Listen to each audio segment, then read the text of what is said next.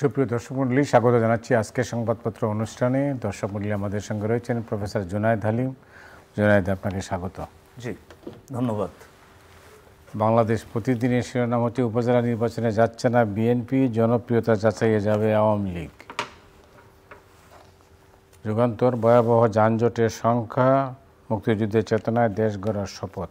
ইত্তেফাক সমৃদ্ধ দেশ গড়ার শপথ নিত্যপণ্যের মূল্যবৃদ্ধিতে খাদ্যাভাস বদলেছে সত্তর ভাগ পরিবারের। মানব জমিন, মালয়েশিয়ার পাম তেলে ইউএর নিষেধাজ্ঞা, বাংলাদেশের শ্রমবাজারে অশনি সংকেত আর দুর্নীতির মাস্টার। কালবেলা পড়া বদলেছে, চাপ কমেনি। ভারত বিষয়ে কৌশল ঠিক করছে বিএনপি। কালের কণ্ঠ উপেক্ষায় চতুর্থলে ভাঙ্গনের সুর। ভারত নিয়ে ভেবেচিন্তে এগুতে যাচ্ছে বিএনপি। আমাদের সময়ে শহরাঞ্চলে বেড়েছে দরিদ্র জনগোষ্ঠী কমেছে গ্রামে, সমৃদ্ধ সোনার বাংলা গড়ে তোলার প্রত্যয়। আজকের পত্রিকায় পেনশনের টাকা নিতে মরিয়া সরকার আইএমএফের চাপে কমছে কর ছাড়। দেশ রূপান্তর আড়ালে চল্লিশ পার্সেন্ট অলস তরুণ গ্রামের দারিদ্র্য কমেছে, শহরে বেড়েছে। যায় যায় দিন শ্রদ্ধা, ভালোবাসায় সিক্ত জাতির সূর্য সন্তানরা রণকৌশল ঠিক করতে আরও সময় নেবে বিএনপি খবরের কাগজ, সেমি পাকা ঘরের প্রাধান্য, স্মার্ট বাংলাদেশ গড়ার প্রত্যয়। সময়ের আলো, ধরাছোঁয়ার বাইরে রেল কর্মকর্তারা সমৃদ্ধ দেশ গড়ার প্রত্যয়। মানব কণ্ঠ, বীর সন্তানদের স্মরণ, দেশে বাড়ছে প্রবীণের সংখ্যা, সামাজিক সুরক্ষা নিয়ে সংখ্যা প্রতিদিনের বাংলাদেশ সংসদ নির্বাচনে অংশ নিল আগ্রহণী উপজেলায় মুক্তচিন্তার দেশ গড়ার প্রত্যয়। ইনকিলাব নিয়ন্ত্রণের বাইরে যেতে পারে পরিস্থিতি, গভীর শ্রদ্ধা ভালোবাসায় মহান স্বাধীনতা ও জাতীয় দিবস পালিত। দৈনিক সংগ্রাম যথাযোগ্য মর্যাদায় মহান স্বাধীনতা দিবস উদযাপিত। গাজায় যুদ্ধবিরতির আহ্বান জানিয়ে নিরাপত্তা পরিষদের প্রস্তাব পাশ। The business standard what's behind deaths front from anaesthesia complications. Financial express capacity payment ballooning with LNG fired plants also claiming. কাগজের শিরোনাম হচ্ছে স্বাধীনতা জাতীয় দিবস উদযাপিত। এটা একটা খবর। এছাড়া অন্যান্য কাগজে যে দুই একটা খবর আছে, সেটাতে দেখা যাচ্ছে যে বিএনপির নির্বাচনে মানে উপজেলা নির্বাচনে বিএনপি অংশ নেবে না, এই সিদ্ধান্ত নিয়েছে। তো এই সব মিলিয়ে আপনি স্বাধীনতা জাতীয় দিবস আলোচনা করতে পারেন আগে তারপরে আপনি বিএনপির আলোচনা না আজকের দিনটি যেটি আমরা পার হয়ে গেলাম গত দিনটি সেটি আমাদের জন্য তো সবার জন্যই বাংলাদেশের জি। প্রতিটি নাগরিকের জন্য। সেটা বাংলা ভাষী হোক বা অন্য ভাষার জাতিগোষ্ঠীর মানুষই হোক। আমাদের সবার জন্য সবচেয়ে গৌরবের একটা দিন। কারণ আমরা তেতাল্লিশতম বার্ষিকীটি এই আজকে কিছুক্ষণ আগেও আমরা সেই না তিপ্পান্ন? তিপ্পান্ন সরি দুঃখিত তিপ্পান্নতম স্বাধীনতা বার্ষিকী আমরা উদযাপন করলাম। অন্যান্য বছরের যেই মহা সমারোহে আমরা দেখেছি এই দিবসটি উদযাপিত হতে এবার সেই সমারোহটা তুলনামূলকভাবে কম নজরে পড়েছে। মানুষের মাঝে উৎসাহ উদ্দীপনা উচ্ছ্বাস এই দিনটিকে নিয়ে ইতি অতীতে আমরা যেমন দেখেছি এবার কম- ছিল। এটি হয়তো নানা কারণে একে তো রমজান মাস চলছে রমজান মাসের পনেরোটি দিন অতিক্রান্ত হলো পবিত্র এই মাসের। মানুষ রোজা রমজান নিয়ে একটু তো ব্যস্ত প্রথমত। আর দ্বিতীয়ত সামগ্রিকভাবে এই মুহূর্তে সাধারণ মানুষ।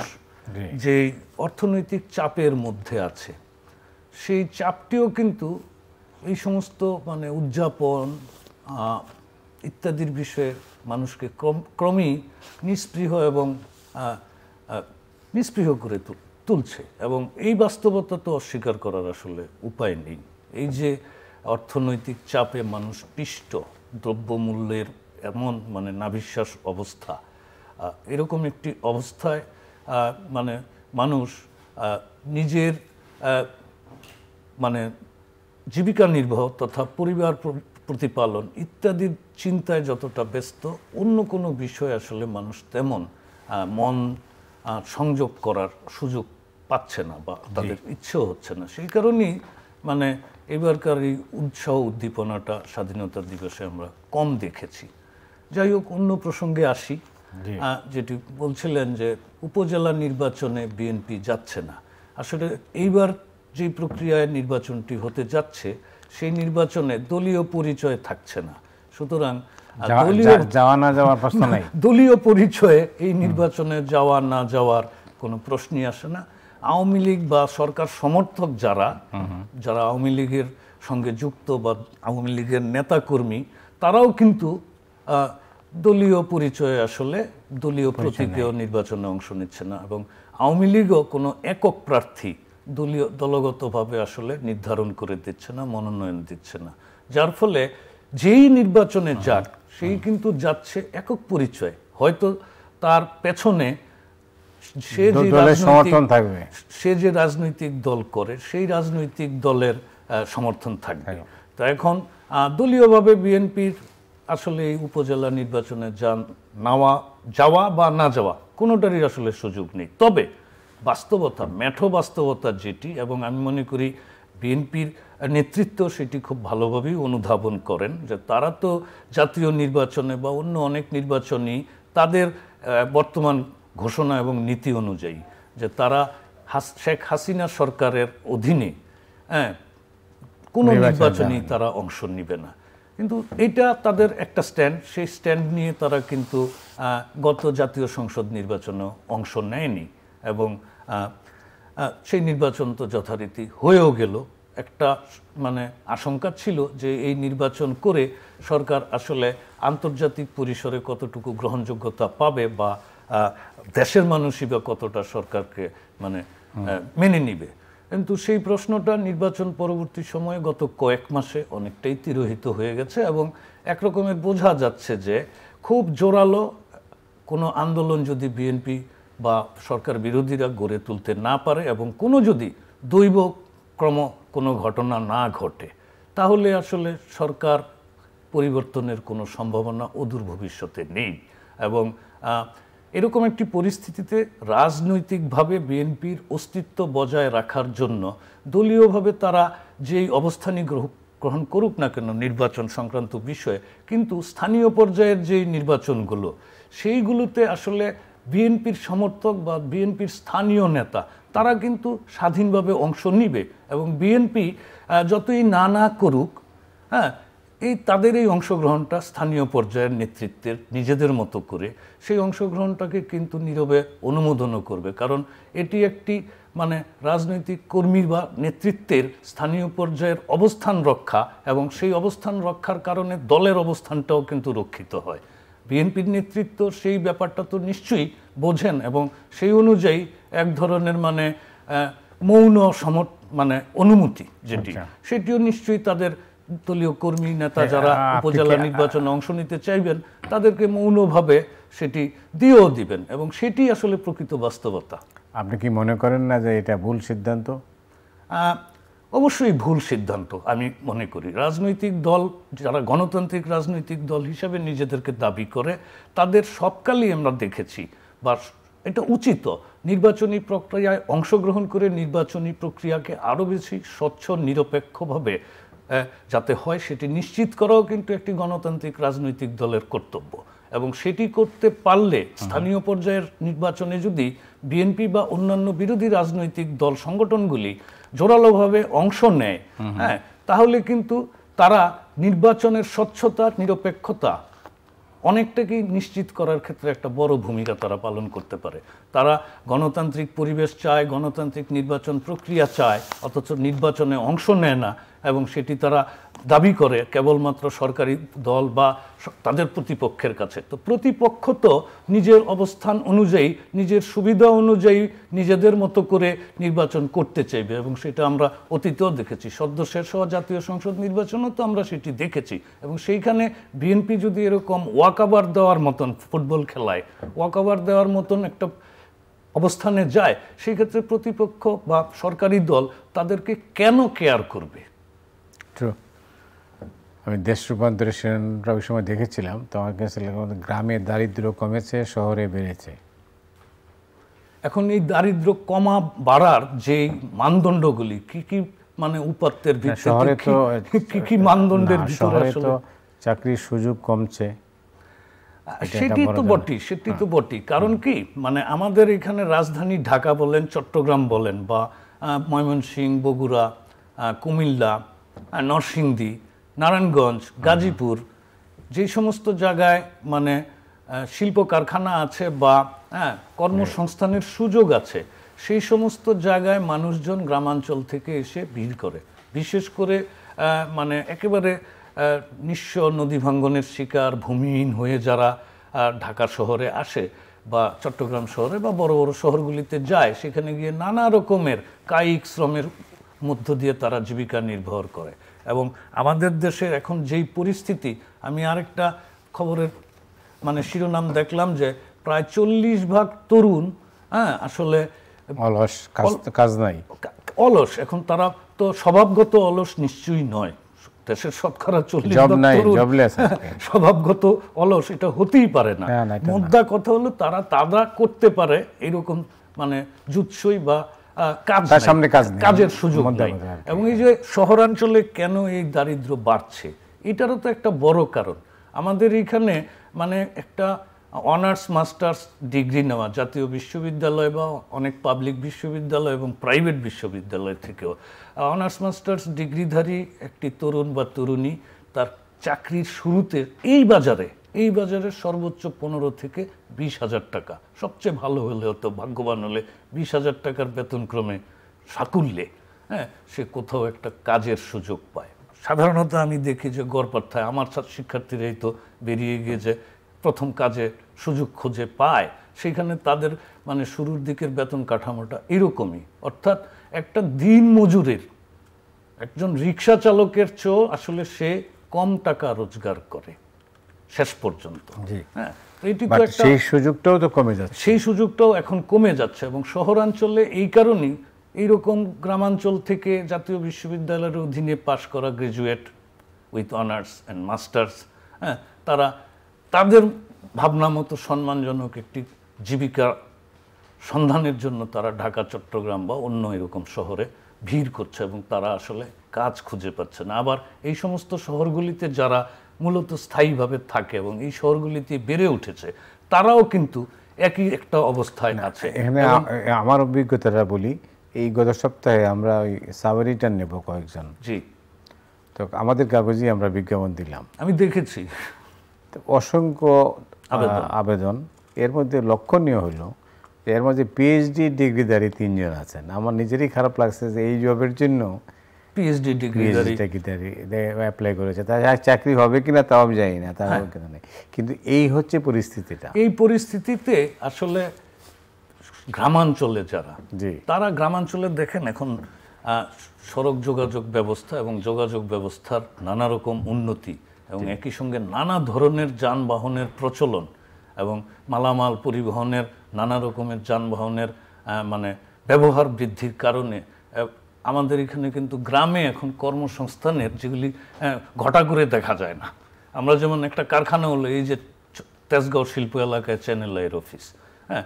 তেজগাঁও শিল্প এলাকাতে তো আমরা ঘটা করে অনেক কর্মকাণ্ড আমরা দেখি যেখানে প্রচুর লোক বোধহয় এই এলাকাটায় হ্যাঁ, তাদের জীবিকা নির্বাহের জন্য কাজকর্ম করে। কিন্তু গ্রামে তো এরকম কনসেন্ট্রেটেড বা সেন্ট্রালাইজড ওয়ার্ক ওয়ার্ক প্লেস নাই যার ফলে আমাদের চোখে পড়ে না। আমাদের মনে হয় যে গ্রামে বোধহয় কর্মসংস্থানের সুযোগ কম। কিন্তু নানা রকম কাজের সুযোগ কিন্তু বেড়েছে এবং এগ্রিকালচারাল সেক্টরও আগে মানে শিক্ষিত মানুষজন আর মানে উচ্চশিক্ষিত তো বটেই শিক্ষিত মানুষজন কিন্তু কৃষিকাজের সাথে যুক্ত হতে চেত না। ওইটা চাষাভূষার কাজ। ওটা চাষার কাজ হ্যাঁ? কিন্তু এখন ব্যাপারটা কিন্তু উল্টে গেছে। এখন প্রচুর শিক্ষিত তরুণ তরুণী নানা রকম কৃষি উদ্যোগে, একক এবং যৌথ কৃষি উদ্যোগে তারা এখন সম্পৃক্ত হয়েছে এবং নানা রকমের ক্ষুদ্র এবং মাঝারি ব্যবসায় তারা যুক্ত হয়েছে। আপনি উত্তরবঙ্গে আপনি রংপুরে দেখেন এইটার একটা বিস্তৃত, নানা রকমের মানে কুটির শিল্পের কিন্তু বিস্তার ঘটেছে রংপুর, নীলফামারী, ওই সমস্ত অঞ্চলে যশোর অঞ্চলেও, জামালপুর অঞ্চলেও। এবং আপনি দেখেন আমাদের নরসিংদী ঢাকার পাশে। সেখানেও কিন্তু ব্যাপক মানে মানে কলকারখানা বিশেষ করে টেক্সটাইল ওরিয়েন্টেড। সেখানেও কিন্তু প্রচুর লোকের কর্মসংস্থান। আমার নরসিংদীর গ্রামাঞ্চলে কিন্তু এখন কৃষি কাজ করার লোক পাওয়া যায় না। হ্যাঁ ঠিক একইভাবে উত্তরবঙ্গ এবং দক্ষিণবঙ্গেও আপনি মানে প্রচুর এরকম মৎস্য খামার সবজির বাগান ফলের বাগান ফুলের চাষ এগুলি বেড়েছে। এবং এগুলি কেন্দ্রিক শুধু চাষ তো না এগুলি কেন্দ্রিক নানা রকমের ব্যবসা এবং পরিবহনের ব্যবস্থা গড়ে উঠেছে এবং নানা রকমের মানে আড়তদারির পরিমাণও বেড়েছে। যার ফলে ঘটা করে কর্মসংস্থান বা কর্মের শ্রম বিক্রির বা শ্রম আয়োজনের আয়োজনটা হয়তো আমরা গ্রামে দেখি না শহরের মতো। কিন্তু গ্রামে ক্রমেই কর্মপরিসর বাড়ছে। মাননীয় প্রধানমন্ত্রী যেই কথাগুলি প্রায়ই বলেন যে আমরা গ্রামকে শহরে রূপান্তরিত করতে চাই এটি তো শুধু কাগজে কথা না আর মানে রাস্তাঘাট করে গ্রামে বড় বড় বিল্ডিং বানানো, সেটি তো উন্নয়ন না। আসলে উন্নয়নটা বা পরিবর্তনটা গ্রামকে শহরে রূপান্তরিত করার জায়গাটা, যেটি হলো মানুষের জীবনযাত্রার মান, জীবন জীবিকার নিশ্চয়তা তৈরি করা। সেই নিশ্চয়তাটা এখন ক্রমে গ্রামে বৃদ্ধি পাচ্ছে, শহরে কমছে। রাইট এবার আসি আপনার সাবজেক্টে পড়ালেখা। কালবেলা শিরোনাম হচ্ছে পড়া বদলেছে চাপ কমেনি। বুঝতে পারেন? প্রাইমারি শিক্ষাতে। প্রাইমারি শিক্ষার্থীদের ক্ষেত্রে হয়তো পড়া বদলেছে চাপটি যে কমেনি এটিও কিন্তু বাস্তবতা। আবার এই চাপ না কমার আরও একটা বড় কারণ হলো যে পাঠ্যক্রম এবং পাঠ্যসূচি এবং পাঠ্য প্রক্রিয়া এই প্রক্রিয়াটাও খুব যথেষ্ট মানে এখনও পর্যন্ত জটিল হিসাবেই আসলে প্রতিভাত হচ্ছে। শিক্ষক যারা তাদের জন্য এই পাঠ্যসূচি পাঠ্যক্রম মেনটেন করে পরিপূর্ণভাবে শিক্ষার্থীদেরকে শ্রেণীকক্ষে শিক্ষাদান প্রায় কঠিন প্রায় অসম্ভব। আমি আমি যেহেতু মানে ক্লাস এইটে পড়ুয়া আমার মেয়ের পিতা সুতরাং আমিও বিষয়টা এই নতুন পাঠ্যক্রম এবং পাঠ্যক্রমের যে প্রক্রিয়াটা এবং মূল্যায়ন প্রক্রিয়া এই সমস্ত বিষয়ে আমি নিজেও খুব বিভ্রান্ত। এবং আমি আমার মেয়ে বলেছে যে তাদের টিচাররাও যথেষ্ট মানে বিভ্রমের মধ্যে থাকে। কি করতে হবে কীভাবে কি করতে হবে? যতই যতই বলা হোক হ্যাঁ কিন্তু এই বারবার এই পরীক্ষা নিরীক্ষা চলছে কেন? আমরা তো এরকম নানা পরীক্ষা নিরীক্ষার শিকার হয়ে আমি তো মানে অনেক দিন যাবৎ পাবলিক ইউনিভার্সিটিতে কাজ করছি। এর আগে তো প্রাইভেট ইউনিভার্সিটিতে কাজ করতাম। আহ, এটা প্রায় মানে সব মিলিয়ে প্রায় বিশ পঁচিশ বছরের কাছাকাছি। অর্থাৎ গত দুই যুগে আমাদের দেশে বিশেষ করে প্রাথমিক এবং মাধ্যমিক শিক্ষা এবং উচ্চ মাধ্যমিক পর্যায় পর্যন্ত শিক্ষা নিয়ে যে নানা রকমের মানে পরীক্ষা নিরীক্ষা হয়েছে এবং সেটির পরিণাম যেটি আমরা পেয়েছি যে আমরা আমাদের বিশ্ববিদ্যালয়ে এসে বিশ্ববিদ্যালয় পর্যায়ে এসে আমাদের শ্রেণীকক্ষে যে শিক্ষার্থী যে পাচ্ছি তারা এভারেজ এভারেজ কোয়ালিটি থেকে ডাউন পাচ্ছি। তাদের ভাষা জ্ঞান কম আধুনিক জীবনে বসবাস করছে আধুনিক সময়কালে প্রযুক্তির যুগে বসবাস করছে কিন্তু বৈশ্বিক পরিসরের জ্ঞান জগৎ সম্পর্কে তাদের ধারণা এর জন্য আপনি কাকে দায়ী করবেন। এইটার জন্য আমরা দায়ী করব যে আমাদের প্রাথমিক এবং মাধ্যমিক স্তরের শিক্ষার ক্ষেত্রে যে গুণগত দুর্বলতা তৈরি হয়েছে নানা রকমের মানে ইচ্ছা এবং পরীক্ষা, নিরীক্ষা, চরিতার্থ করার চরিতার্থ করার প্রক্রিয়ার মধ্য দিয়ে গত দুই যুগে। এটি সবচেয়ে বড় কারণ। আমাদের একটা মানে স্থির জায়গায় আসা উচিত আসলে আমাদের মানে ভবিষ্যৎ চিন্তা করে। এই সময়ের এই যে চতুর্থ শিল্প বিপ্লবের এই প্রযুক্তির ন্যানো টেকনোলজির যুগে এসে আমরা যেই শিক্ষা ব্যবস্থার মধ্যে এখনও আছি, বহুমুখী এবং নানা রকমের শিক্ষা এবং শিক্ষা প্রক্রিয়ার যে একটা খিচুড়ির মধ্যে আমরা আছি, বিশেষ করে মাধ্যমিক পর্যায় পর্যন্ত। এটি আসলে আমাদেরকে দূর করতে হবে। আমাদের একটি বিশেষ করে মানে প্রাথমিক পর্যায়ে এবং প্রাথমিক পর্যায়ে এখনও পর্যন্ত আমরা ক্লাস ফাইভ পর্যন্ত প্রাথমিক শিক্ষা হিসেবে গণ্য করছি। আমার বিবেচনায় এটা ন্যূনতম অষ্টম শ্রেণি পর্যন্ত হওয়া উচিত এবং সেটি একটা ইউনিফাইড সিলেবাসে হওয়া উচিত। একটি ইউনিফাইড পাঠ্যসূচি, পাঠ্যক্রম, পাঠ্য মূল্যায়ন প্রক্রিয়ার মধ্যে হওয়া উচিত। এরপরে যে যার মতন পছন্দ অনুযায়ী মানে দিক বেছে নিবে, সেই অপশনটা যেন করা হয়। এইটা এই ক্লাস এইট পর্যন্ত একদম পরিপূর্ণভাবে সরকারি রাষ্ট্রীয় খরচে হতে হবে, শতভাগ ফ্রি এখন অনেকটাই ফ্রি কারণ বই পুস্তক সব দেওয়া হচ্ছে ফ্রি হ্যাঁ অনেক স্কুলে ডে ডে ডে শিফটে লাঞ্চও দেওয়া হচ্ছে। মানে পুষ্টিমান সম্পন্ন খাদ্য দেওয়া হচ্ছে। এগুলি তো এক ধরনের মানে প্রণোদনা বা এটা দরকার। কিন্তু আমি মনে করি যে unified education for up to class eight as primary education and absolutely বাধ্যতামূলক। সবার যেতে হবে। নারী, পুরুষ নির্বিশেষে, ধর্ম, বর্ণ নির্বিশেষে ধনী, গরিব নির্বিশেষে এবং এই সব স্কুল একই মানের হতে হবে। সেটা হয়তো এখন দুরূহ কিন্তু এটা করা সম্ভব আমি মনে করি যে সঠিক পরিকল্পনা নিয়ে এগুলি আগামী পাঁচ সাত দশ বছরের মধ্যে সেটি বাস্তবায়ন করা সম্ভব। এবং এইভাবেই আসলে আমাদের প্রাথমিক শিক্ষার ভিত্তিটা যদি পোক্ত হয় আমাদের প্রজন্মের নতুন প্রজন্মের জন্য সেই প্রজন্ম আসলে তাদেরকে পরবর্তী ধাপে গিয়ে একেবারে যুগ উপযোগী তাদের পছন্দের শিক্ষার জায়গাটি বেছে নেওয়ার সুযোগ পাবে এবং আমরা কর্মসংস্থান যেরকম, উদ্ভাবন যেরকম, সেরকম সৃজনশীল, মননশীল এবং বুদ্ধিভিত্তিক চিন্তার বিষয়ে আমাদের নাগরিকদেরকে গড়ে তুলতে হবে। সেই প্রচেষ্টাটা নিতে হবে। এছাড়া উপায় নেই। আমরা চার রকম, পাঁচ রকমের মাদ্রাসা শিক্ষা সাত আট রকমের সাধারণ শিক্ষা এবং মানে ইংরেজি শিক্ষা মাদ্রাসা শিক্ষা সাধারণ শিক্ষা বাংলা ভার্সন ইংরেজি ভার্সন এত জগা খিচুড়ি আসলে আমাদেরকে এইরকম একটা পরিস্থিতিতে উপনীত করেছে। ধন্যবাদ আপনাকে। যেটা হচ্ছে যে ঈদের বাজার। জি। আপনি জানেন যে ষোলো রোজা রোজা পনেরো রোজা চলে গেছে ষোলো রোজা আমরা কী হচ্ছে এই মুহূর্তে যখন যেটা হচ্ছে যে সামনে কাল সকালে ষোলো রোজা হবে। তো এখন ঈদের বাজারটা তো জমে নেই। না জম জমেনি এটাই বাস্তবতা এটাই স্বাভাবিক। আমি পুরনো ঢাকার ব্যবসায়ীদের মতো বলতে চাই এইটাই তো স্বাভাবিক। কেন? কারণ মানুষের তো মানে সবার আগে কি? টাকা। সবার আগে দরকার মানুষের নিজের মানে দৈনন্দিন জীবনের খরচ নির্বাহ করা অর্থাৎ হ্যাঁ, বাড়িতে চাল ডাল মাছ তরি তরকারি হুম হ্যাঁ, বাড়ির ইলেকট্রিসিটি বিল পানির বিল গ্যাসের বিল এগুলি হলো মানুষের একেবারে মানে জরুরি প্রয়োজন। এই জরুরি প্রয়োজন মেটাতেই দেশের অধিকাংশ মানুষ হিমশিম খাচ্ছে। আমি নিজে তো একজন পেশাজীবী চাকরিজীবী মানুষ আমার আয় তো সীমিত। আমি তো নিজেই ব্যক্তিগতভাবে কি হিমশিম খাচ্ছি সেটা আমি নিজেই বুঝি। তো অন্যে যে আমার চেয়ে কম আয় করে যে প্রতি মাসে যার আয়ের নিশ্চয়তাও তেমন নেই নিশ্চিত নিশ্চয়তাও নেই। সেই মানুষটি কি দুশ্চিন্তার মধ্যে থাকে? এবং বাংলাদেশের সর্বসাকুল্যে হয়তো তেরো থেকে চোদ্দ লাখ মানুষ সরকারি চাকরির সাথে যুক্ত বা সরকারি মাধ্যমে তার বেতন ভাতাটা হয়, ঈদের বেতন। এই যে এই বছর, এই মাসে তো বৈশাখী বোনাস এবং ঈদ বোনাস একসঙ্গে আমরা পাবো।